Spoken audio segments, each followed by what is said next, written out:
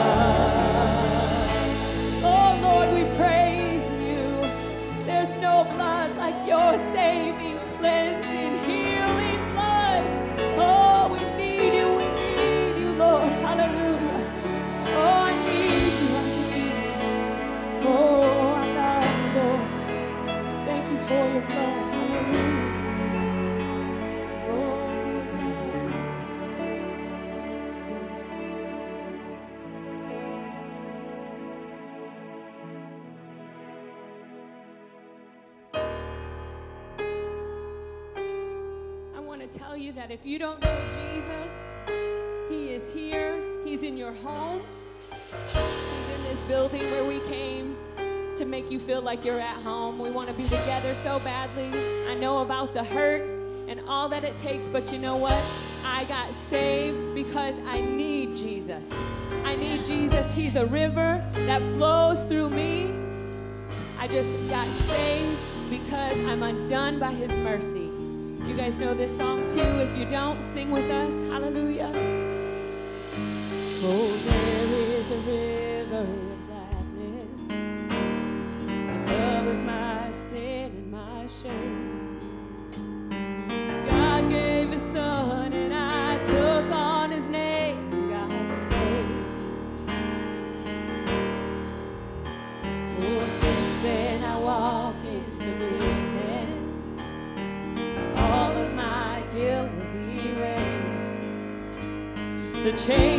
Okay.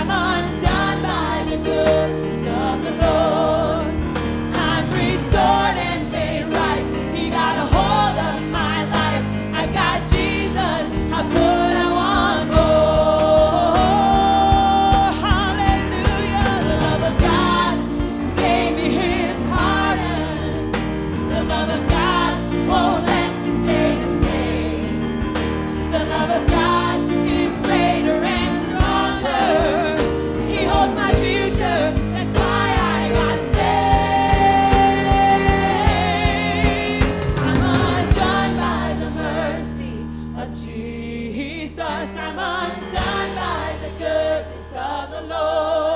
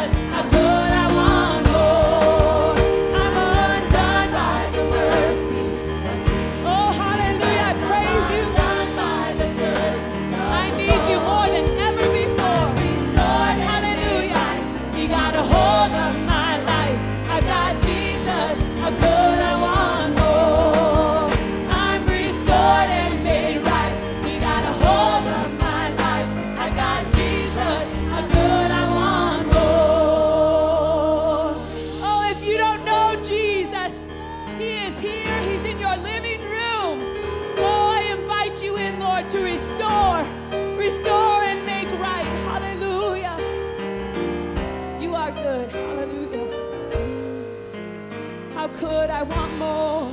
Thank you, Lord. Well, praise the Lord. Praise the Lord to all of you who are watching this, and uh, especially our Grace Point family. We, we love you, uh, we miss you, and we wish that we could all be together today on this special day. We have such a great reason to celebrate today, and even in these unusual circumstances, I believe we can rejoice. Um, because he lives. The devil couldn't stop it 2,000 years ago, and this virus can't stop it today. And while we are uh, disappointed that we could not be with all of you physically in person, I, I just want you to know that we are with you in spirit. Our, our hearts are with you, our thoughts are with you, our prayers are with all of you on this very special day. And I hope you uh, feel and know that as much as we have felt the love and the calls and the, the texts that have come from many of you. Amen. Amen. Well, we're here to talk about the Resurrection Sunday. He is alive. He is risen. Amen. Amen. And I was thinking about this historical, monumental event that, that took place, and, and I thought about the disciples being in their home um, just after Jesus had been crucified. Their lives had been turned upside down. Um, their world had been turned upside down, and, and no doubt fear of the future was running through their minds and uncertainty about how to, how to move forward. What now? What, what next? What do we do? But all of that was about to change, wasn't it? Um, I was thinking about uh, all of us being in our homes right now, fear of the future and the uncertainty that surrounds us and, and what, what now and what next. And, and so I want to turn to the book of John in chapter 20, verse 1. Um, it tells us that Mary Magdalene went to the tomb. She went there early. The Bible says here that it was still dark when she went, and she saw that the stone was rolled away. And Mark and Luke tell us a similar story that Mary Magdalene and some of the other uh, women got up very early in the morning, it says, and they arrived at the tomb just as the sun was, was rising. And, and they find that the stone has been rolled away, and, and they encounter uh, angels at the tomb, and, and they run back to tell the disciples about this and to tell the rest of them that, that he's gone. Jesus is gone. The, the stone is rolled away. The tomb is empty. And uh, uh, so I was thinking about that. And um, here's the deal I don't know where you're at this morning. I don't know if you're still in your pajamas. I don't know if you've had your coffee or your Cheerios yet. But uh, uh, here these, these ladies come, these, these three sisters come, and they're, they're out of breath. They are banging on the door, they are knocking on the door, and they come barging in, and Jesus is gone. But I come to tell you this morning that Jesus is alive. Hallelujah. Jesus is risen. The stone has been rolled away, the tomb is empty. That ought to get a hallelujah out of somebody today, right? Uh, it, death couldn't hold him. Death could not hold him. It didn't matter if it was two soldiers or, or 200 soldiers guarding that tomb. When God is in it, nothing is impossible. Let's put God into our circumstance this morning. There's no barrier, there is no obstacle, there is no tomb, there is no virus that can hold back God. All the powers of hell cannot stop God today. Not then and not now. He's unstoppable, He's unshakable, He's unmovable. He's almighty. And if you want God this morning, there's no devil in hell, there's no virus on this earth that can keep you or separate you from the love of God today. Can you say amen to that? God says, Draw nigh to me, and I'll draw nigh to you. So, uh, Psalms 145, 18, it says, The Lord is near to them that call upon him. He's near this morning. You know, uh, he's not just available when you can get to Grace Point Church. Uh, he can feel you right there in your living room. He can be right there where you're at in your house this morning. Call upon him while he is near. Seek him while he may be found. I said last week that, that the Lord is giving us an opportunity, and many of us are examining ourselves, and many of us are looking at our lives and evaluating our, our priorities. Listen, don't wait till this is over to come to church. Get back in church right now. Amen. Call on God right now where you're at. The Lord is near to them that are of a broken heart. He will save them that are of a contrite spirit. So imagine, if you will, what it must have been like on that, that third day the earth begins to shake and the ground is rumbling and, and the rocks are literally split. They're literally torn apart as the power of God Almighty descended down upon that cemetery. And the angel of God rolled back that stone like it was a pebble. And, and there it was set in front of that tomb. And out came our Lord and Savior, Jesus Christ, victorious over death. He was leading the way. And because he overcame, we can overcome. We can be victorious over death, victorious over this virus, victorious over hell, victorious over fear, victory over anxiety, victory over the grave, victory over everything that life throws our way. Amen. Come on, let's praise Him. Praise Him right there in your house for a minute. Would you do that? We might as well get used to it. We might as well get comfortable with it. It's all right. We don't know how long this is going to continue. So, moms and dads, it's okay to let your children hear you shout out an amen. It's all right to let them hear you raise a hallelujah. Come on, praise the name of the Lord. Praise Him in the home should not be an uncommon thing. Let's, let us come before his presence with thanksgiving. Make a joyful noise unto the Lord. Somebody praise him for his mighty acts. Somebody praise him according to his excellent greatness. Somebody lift a hand. Somebody lift their voice. Somebody shout unto God with a voice of triumph. Listen, we might as well make it known. And we might as well start right now and let it start in the home. Make it known in the home that ain't no rock taking our place, right? The doors of this building might be closed, but I know, I know, I know that the people of God are raising and praising up God this morning. Amen. Amen. We are celebrating that He is risen. It ought to bring hope and joy to our hearts today. It ought to put a smile on every one of our faces. Praise God. I, I, always like to say He is still in the business of rolling away stones. I don't care how bad a situation might look in your life. I don't care how messed up things have gotten, and I realize things are pretty messed up right now. The devil may have rolled a stone over your dreams. He may have rolled a stone over your job. He may have rolled a virus over your vacation plans. He might have rolled this virus over your finances. But it doesn't matter how bad it looks, we are still on the winning side. The people of God are going to come out victorious on this thing because He is risen and alive forevermore. We have promises in this life and in the life to come. Amen. I remember Elder White always smiling. He was always, he, he would always sing, Everything's gonna be, be all right. And I remember him always, that, that smile, it was part of his resting face. He, uh, I think he was one of those people that smiled for so long that, that his face just kind of froze that way. He, he knew everything was going to be all right. Because if that same spirit that raised Christ from the dead, if it dwells in you, is it dwelling in you this morning? Come on. Have you stirred up that gift lately? You don't have to be in this building to, to feel the Holy Ghost. Go on, take a minute. Take a minute right there in your home. Stir up that gift a little bit. Come on, right there in your home. I wish we were all together. I really do. But sometimes we got to encourage ourselves in the Lord. That's what David had to do.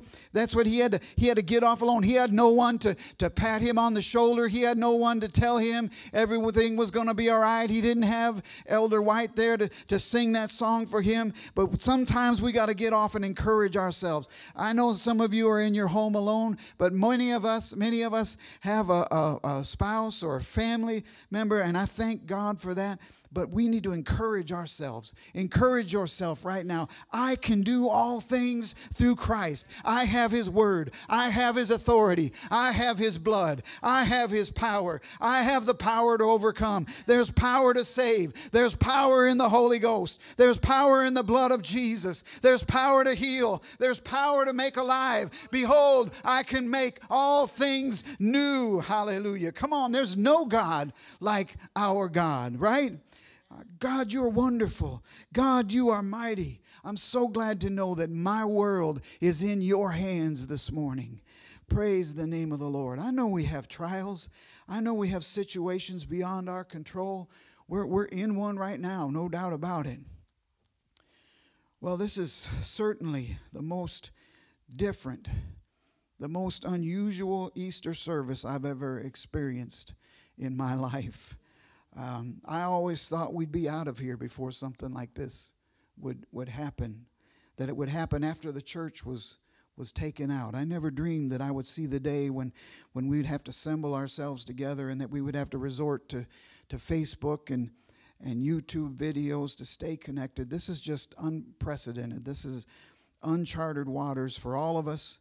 And many of our day to day routines, they've been disrupted the building has been shut down and suddenly we find ourselves on YouTube and, and Facebook. How long will that last? It's so easy to assume that, that this will always be here, but uh, I don't know. I'm not trying to scare anybody. I'm just considering how quickly all this has come upon us. Um, how do we know that this will last, right? I've seen a lot of posts and uh, about moms and dads having to become uh, school teachers and daycare providers overnight with, with all that's happened, with all that's going on. But you know, as, as kings and priests in our homes, we're going to have to step up as Sunday school teachers, right? Uh, we're going to have to step up for prayer. We're going to have to step up for, for Bible time in our home and, and get our families together and maybe just read the Bible to them. You know, if you're not, you know, feeling comfortable with teaching something, just, just to read a chapter or two to our families. I, I'm thankful for our people. We have good people. They, they know the word. We, they're rooted and grounded in the truth. It's the word that can sustain us, it's the word that can keep us. How do we know what to do with all that's going on in the world and how it seems to be unraveling? It's because of the word. Wisdom and knowledge shall be the stability of our times, right? Uh, so, uh, a lot of people are asking questions. The, the door is just wide open right now to, to witness to others and to share the love of Christ. We're going to have to get creative, saints. We're going to have to get creative. Think about new ways to do things. The Bible says, sing unto the Lord a new song, okay?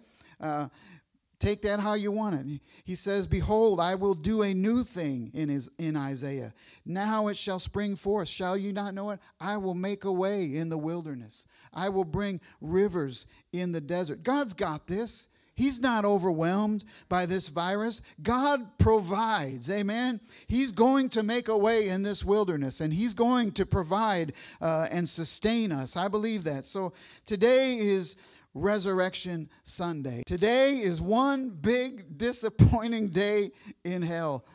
The devil may have thought he had Jesus, but not on this day. He may think he has you and I, but our resurrection day is coming.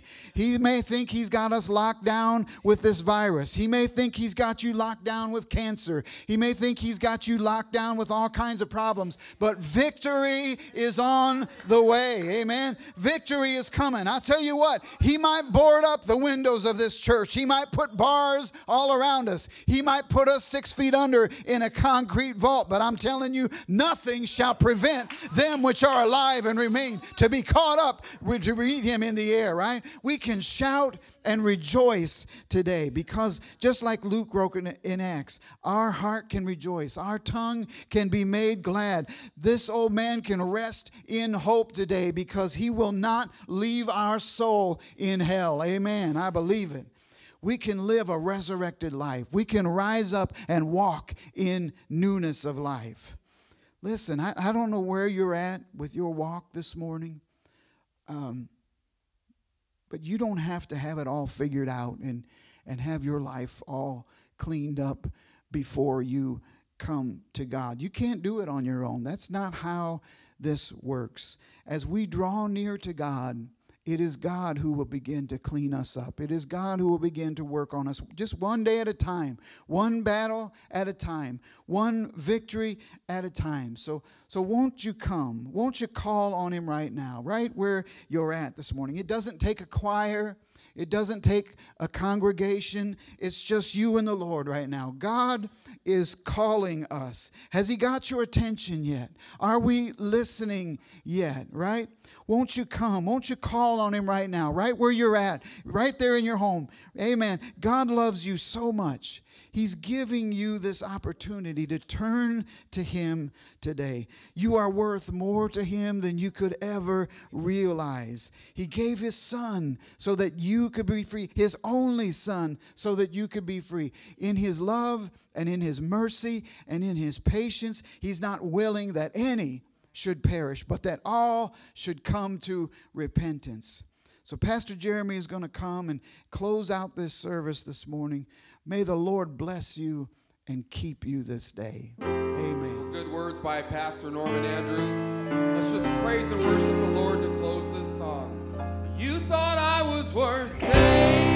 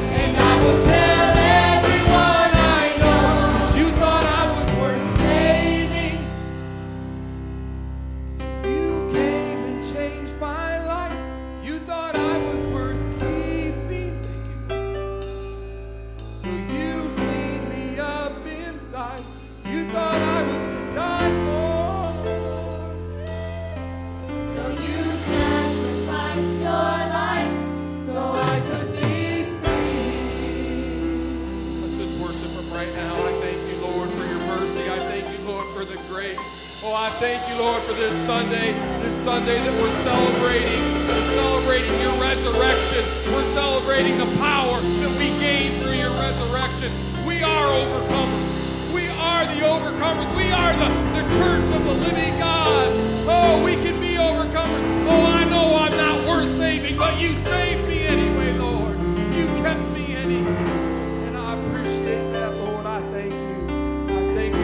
blessings. I thank you for keeping our families safe in this time that we're living in. Lord, I pray that you continue to, to send a blessing around us, around our church and around our family, around our, our friends and our loved ones, Lord. Lord, take care of our finances in the name of Jesus.